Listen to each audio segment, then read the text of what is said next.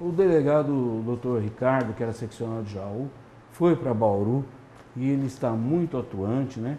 realizando operações é, constantemente, prendendo muita gente.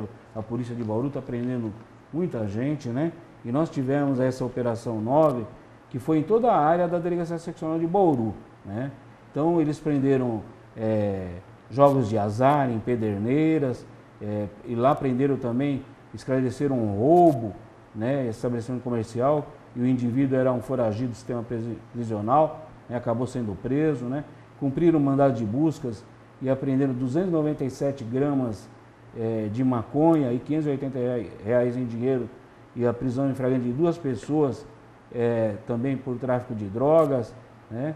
É, também o, o, a Polícia Militar ajudou e o cão Baruch localizaram uma balança de precisão, 79 porções de maconha, 26, é, 26 embaladas individualmente para comércio, além de 100 reais uma mulher foi presa por tráfico e associação.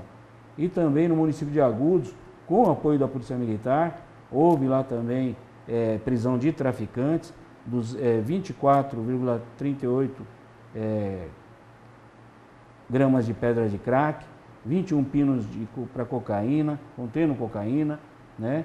É, tabletes de maconha, além de 338 gramas de maconha, 368 reais em dinheiro, né? Um trabalho excelente é, nessa Operação 9 aí, o doutor Ricardo Silva Dias fazendo lá as operações em toda a seccional de Bauru, a DIG, a DIS de Bauru também trabalhando muito e produzindo. Né? Então, olha, quanta droga foi para dinheiro, né?